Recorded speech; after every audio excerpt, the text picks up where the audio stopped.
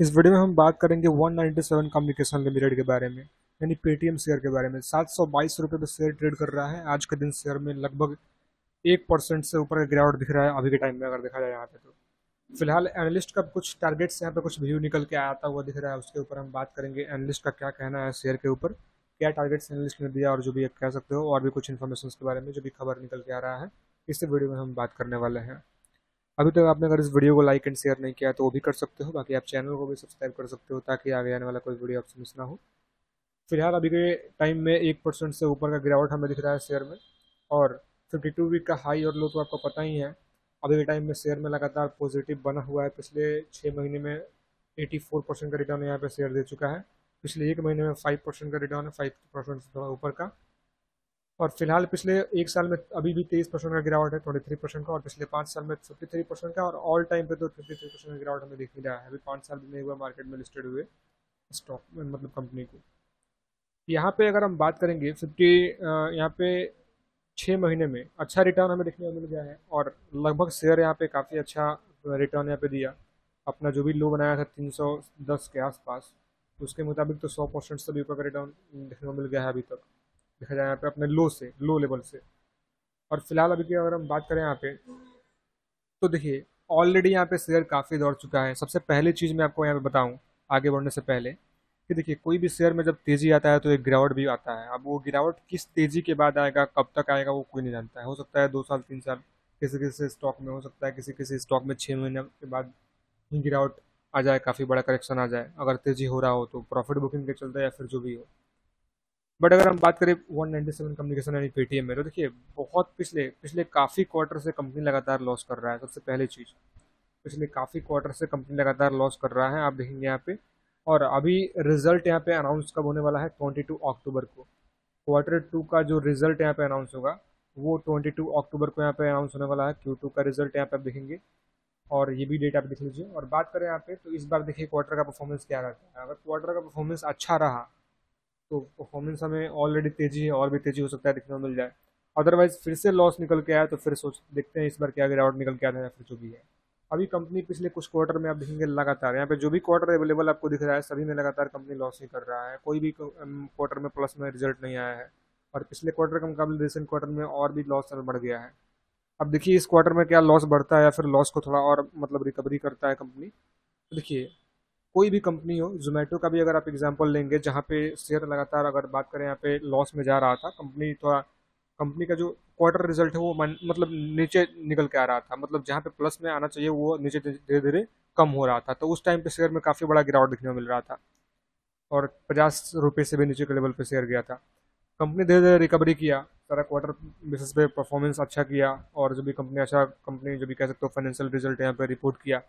धीरे धीरे आज के टाइम पे ढाई सौ से भी ऊपर ट्रेड कर रहा है अपने लिस्टेड प्राइस से भी काफ़ी ऊपर जोमेटो शेयर वही बात है कि काफ़ी सारी कंपनी आपको ग्राउट इसलिए देखने को मिल जाता है बिकॉज़ कंपनी का फाइनेंशियल रिज़ल्ट यहाँ पे निकल के अच्छा नहीं आता है। इस बार एंजल वन का रिज़ल्ट हमें काफ़ी अच्छा देखने को मिला। शेयर में एक ही दिन में पंद्रह परसेंट से ऊपर की तेज़ी निकल के आया था। तो वही बात है तो यहाँ पे पेटीएम शेयर की बात करेंगे तो शेयर में देखिए अब क्वार्टर बेसिस परफॉर्मेंस लगातार गिरावट है बट शेयर में क्यों तेज़ी हो रहा है वो, वो आपको क्या है नीचे कमेंट में ज़रूर बताइएगा इसके ऊपर आपका क्या ओपिनियन है?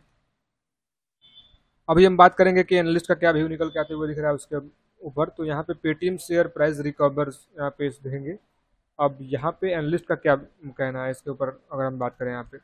Paytm recent Paytm share price performance recent performance जो भी देखने को मिला आप देख सकते हो। अब Paytm share price analyst upgrade and targets a major factor contributing the stock to the stock performance in the recent is the recent upgrade from M K global financial services M K global financial services they have revise target को यहाँ पर revise किया। देर target price तीन सौ पचहत्तर से सात सौ पचास कर दिया। जहाँ पे टारगेट प्राइस नीचे की तरफ़ था, वो सात सौ पचास का पर शेयर कर दिया।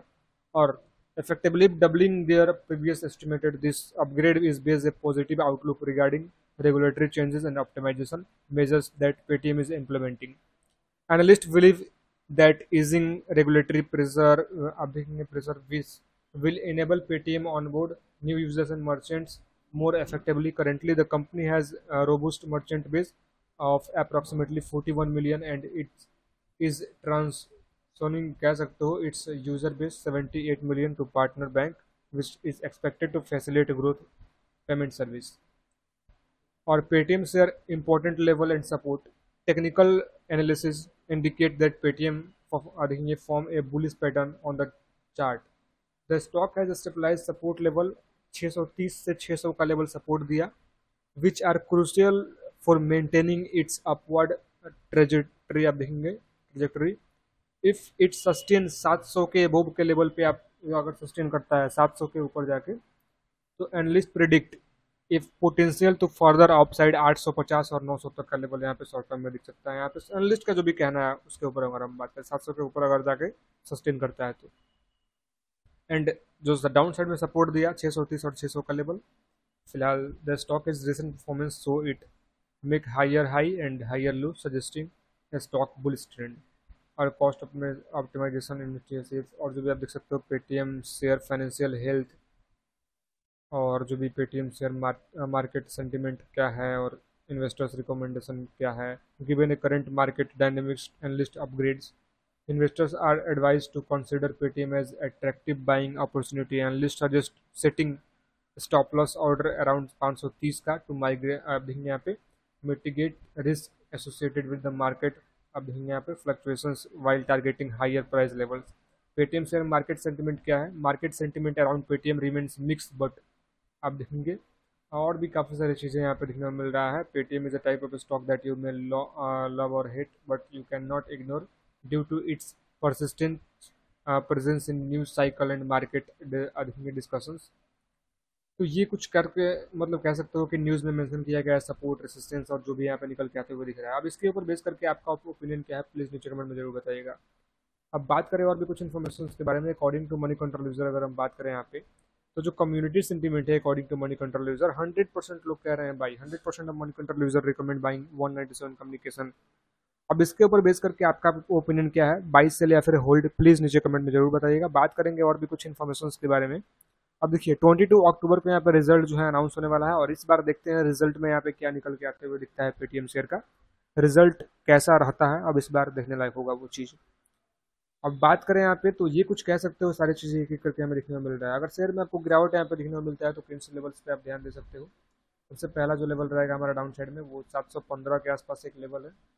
और आज के दिन आप इस लेवल पर ध्यान दीजिएगा। मार्केट अभी ओपन है वीडियो को जब मैं शूट कर रहा हूँ, इसको अगर ये ब्रेक कर देता है डाउन साइड में और भी लेवल्स यहाँ पे आपको नज़र आ जाएँगे, जो कि बहुत सारे लेवल्स आपको नज़र आ जाएगा, जो कि अगर हम बात करें तो नेक्स्ट लेवल हमारा कुछ इतना का हो सकता है, जो कि ये छः सौ पचपन छः सौ पचास के आसपास जो लेवल है, अगर ज़्यादा गिरावट होता है तो उससे पहले भी लेवल्स यहाँ पे हैं, जो कि छः सौ पचासी के आसपास।